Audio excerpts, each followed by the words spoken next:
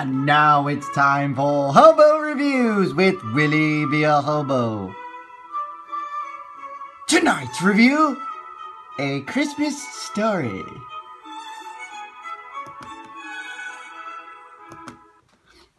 Oh my god, this is the best movie I've ever seen in my whole life! You'll shoot your eye out, kid. With spoilers, there's this kid who wants to get a B Ryder shooter gun.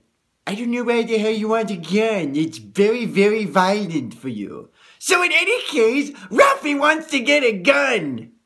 And the little brother, Randy, wants to get a bunch of other toys because, well, he's a little kid.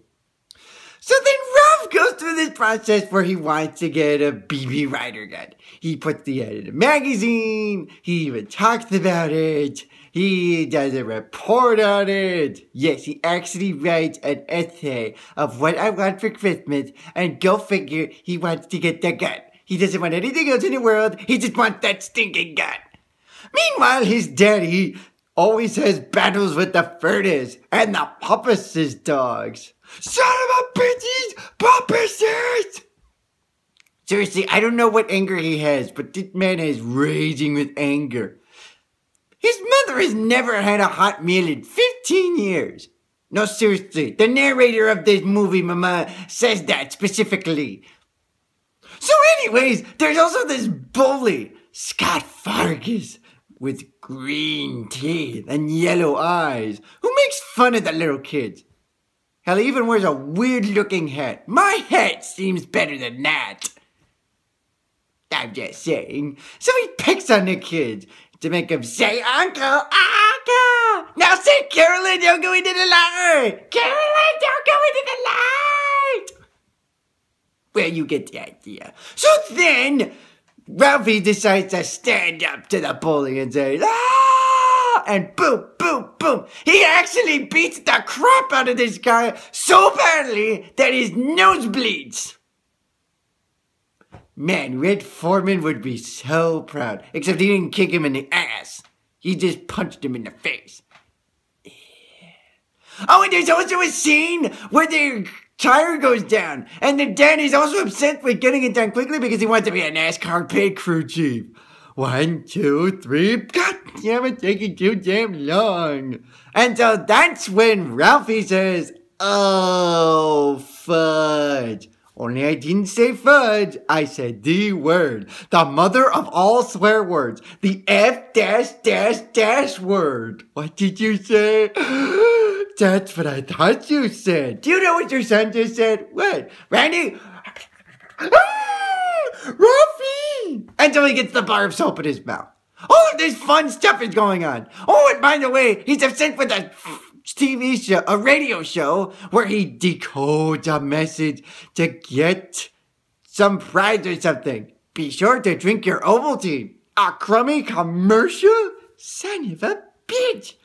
I would be too. That's a waste of fucking time. So then Christmas Day comes. Well, almost. It's Christmas Eve and Santa Claus is at the mall. I like the Tin Man. I like the Wizard of Oz. And they have to go on a long line that stretches all the way to Terre Haute. And Ralphie's at the end of it. Finally, he gets to Santa Claus because, oh crap, 9 o'clock, the store's gonna close.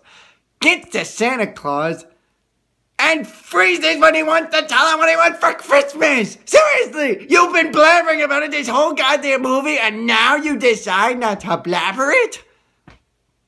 So the Santa Claus impersonator suggests, how about a nice uh, football? Football? What's a football?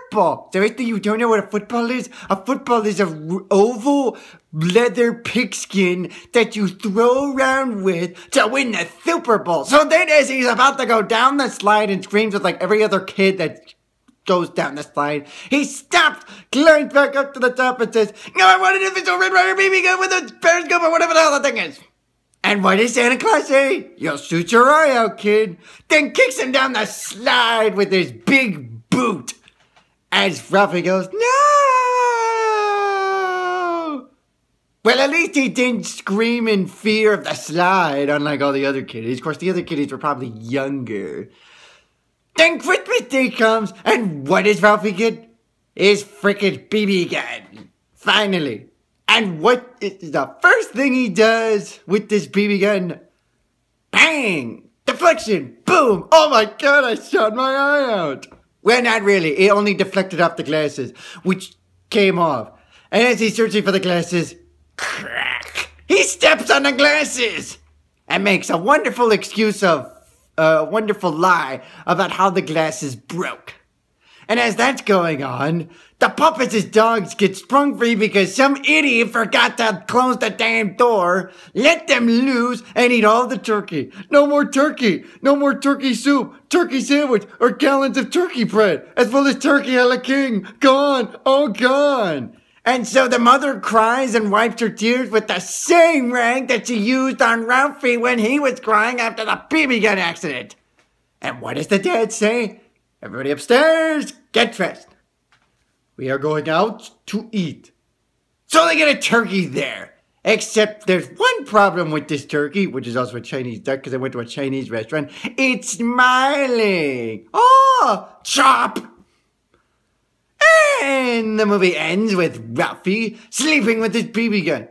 Gee, I hope he doesn't shoot anybody's eyes out while he's uh, sleeping away on drapes. I, for one, love this timeless Christmas classic, and you should too, because this is one of the greatest Christmas movies of all time. This is Willie B. Hobo saying, Charge! You got charged! Oh, come on, up a will you? Come on, charge! Come on! I'll pretend to be Santa Claus so that you can get whatever the hell you want! It could be anything! Except a BB gun!